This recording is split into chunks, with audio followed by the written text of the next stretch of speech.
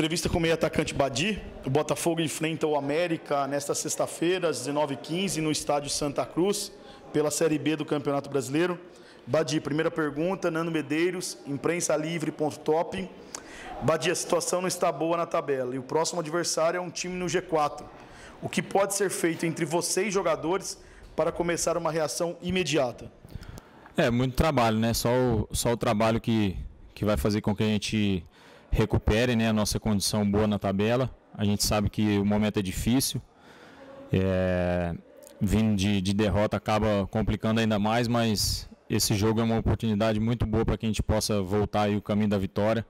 A gente sabe que vai ser mais um jogo difícil, mas se tratando por um jogo dentro de casa, com uma equipe forte, a gente tem que, que se portar o melhor possível para poder conquistar uma vitória que eu tenho certeza que vai ajudar bastante aí na, na decorrência do campeonato. Agora a pergunta é do Marcos Andrés, Rede Fé, K8, Rádio TV. Badi, o que acontece com o Botafogo que não tem uma sequência positiva? Nove derrotas em 15 jogos. Esse desempenho preocupa o Badi quanto ao rebaixamento? Não, acho que quanto o rebaixamento é, a gente sabe né, da dificuldade que é o, que é o campeonato, a gente sabe da, da dificuldade do momento que a gente vem enfrentando, mas a gente sabe que ainda tem bastante campeonato pela frente, mas é, a gente tem que reagir o, mais rápido possível, né? Ainda mais se tratando da Série B, que a gente sabe que, é um, como eu disse, é um campeonato difícil, se você deixa para para depois você acaba não tendo tempo de, de, recuperação. Então o que a gente tem que fazer é, é trabalhar duro, por mais com a, com a dificuldade que a gente está tendo, né, de, de, jogos atrás de jogos e, e viagem, fica difícil para você, até para o Claudinei, para poder trabalhar, né, algumas situações fica difícil. Então a gente tem que, que enfrentar isso de, de cabeça erguida e poder é, recuperar quem tem que recuperar e trabalhar quem tem que trabalhar para a gente poder dar a resposta o mais rápido possível. Outra pergunta, Badi. Badi, você chegou com um retrospecto de jogador que todo time precisa, meio armador. Quando que a torcida e a imprensa em geral vai poder rever o Badi, que encantou a todos com seu futebol de meio armador, que te levou a grandes clubes? É, como eu disse, só com o trabalho, né? É, eu tive aí a minha primeira oportunidade e agora só o, o ritmo de jogo que vai pouco a pouco aí melhorando para que eu possa voltar o mais rápido possível à, minha melhor parte física. E isso consequentemente também com, com o restante do grupo a gente trabalhando junto e, e agora como eu disse o mais rápido possível para que a gente possa retomar é, principalmente as nossas vitórias né? A gente sabe que é que é difícil no futebol quando a vitória não vem e acaba atrapalhando bastante. Eu tenho certeza que esse esse jogo dentro de casa vai ser difícil, mas a gente tem totais condições para conquistar uma vitória e, e aí melhorar cada vez mais. A cada jogo que passa a gente tem que ter uma, uma evolução e eu tenho certeza que esse jogo vai ser uma dessas evoluções que a gente tem pela frente. Badi, agora a pergunta é do Jorge Vinícius, Grupo Tati, Rádio 79.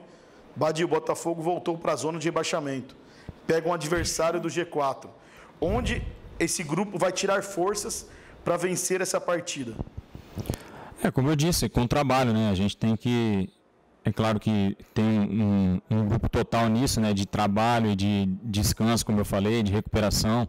A gente teve uma, uma viagem muito difícil agora, né? A volta de, de, do Maranhão. E isso acaba dificultando um pouco. Você tem que recuperar os atletas que, que jogaram e ao mesmo tempo você tem que trabalhar com alguns atletas e isso acaba dificultando um pouco.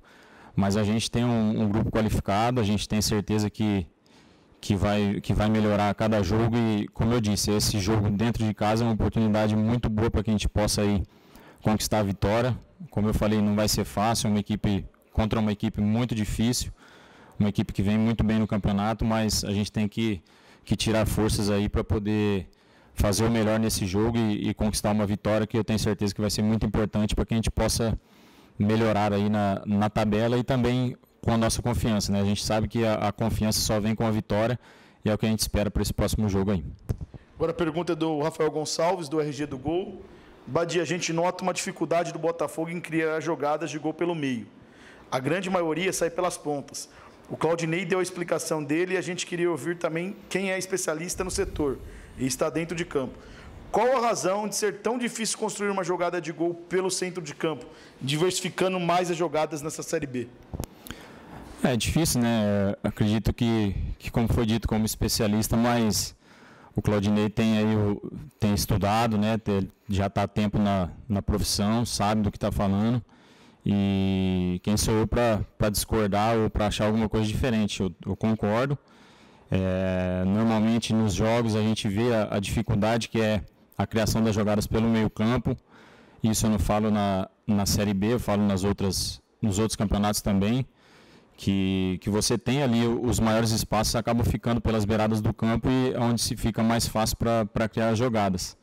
Então eu acho que esse é o, é o ponto né, da, da criação das jogadas. A gente sabe que ficou mais difícil de, de construir as jogadas pelos meio, pelo meio do campo e acaba ficando um, um desafogo ali nas beiradas para que a gente possa chegar ao, ao gol mais da, da melhor maneira possível. Né? Ok, agora a pergunta do Luiz Augusto, da Rádio CBN. Você ganhou a primeira oportunidade para jogar como titular na última partida. E qual a avaliação que você fez do seu desempenho? Ainda tem muito a evoluir, Badi? Sim, com certeza, muito a evoluir.